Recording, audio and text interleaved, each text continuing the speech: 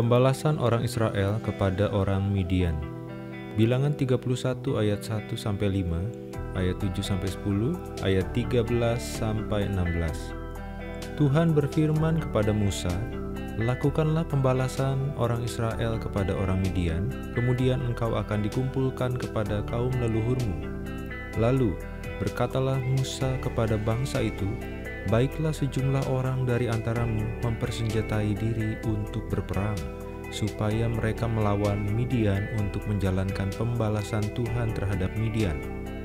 Dari setiap suku di antara segala suku Israel haruslah kamu menyuruh seribu orang untuk berperang.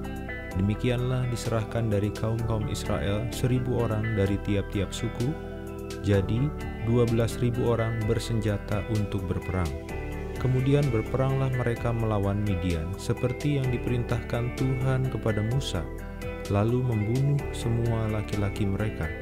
Selain dari orang-orang yang mati terbunuh itu, mereka pun membunuh juga raja-raja Midian, yakni Ewi, Rekem, Zur, Hur, dan Reba. Kelima raja Midian juga Bileam bin Beor dibunuh mereka dengan pedang.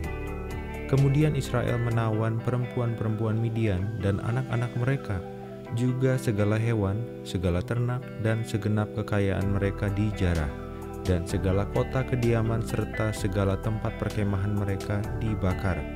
Lalu pergilah Musa dan Imam Eleazar dan semua pemimpin umat itu sampai keluar tempat perkemahan untuk menyongsong mereka. Maka gusarlah Musa kepada para pemimpin tentara itu kepada para kepala pasukan seribu dan para kepala pasukan seratus yang pulang dari peperangan. Dan Musa berkata kepada mereka, Kamu biarkankah semua perempuan hidup? Bukankah perempuan-perempuan ini atas nasihat Bileam menjadi sebabnya orang Israel berubah setia terhadap Tuhan dalam hal peor sehingga tulah turun di antara umat Tuhan?